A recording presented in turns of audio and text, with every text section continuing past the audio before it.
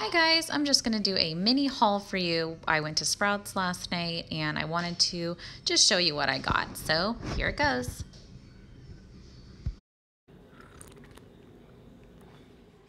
Real quick here, I got some fruit. I also picked up some dried mango, which is always good. I picked up avocado, some cinnamon cream creamer, some milk.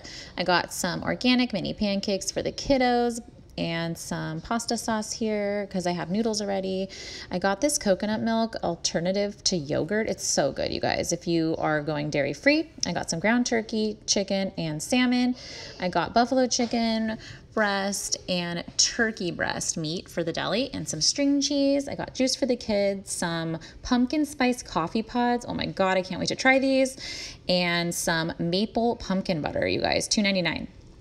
And then some stuff for the kids, some bars for my husband and I, some macaroni, skinny pop, some veggie chips, ranch. I think it's gonna be like cooler ranch, maybe. I don't know, I'll let you know. And then some bread for the kids, some new bread for me, this organic whole grain bread from Oroweat. I want to try it, so I will let you know how that is. And uh, also this spritzer, this limeade, it was really good from Sprouts. Highly recommend, just for a little refresher. And that is it, you guys. Thanks for watching. I had to throw these in. I posted on Instagram, but half a pumpkin pie, you guys. How cute.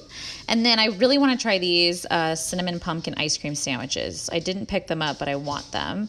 And then the vinegar gel from Mrs. Meyer's is available at Sprouts. Thanks so much for watching, guys. See you in the next video.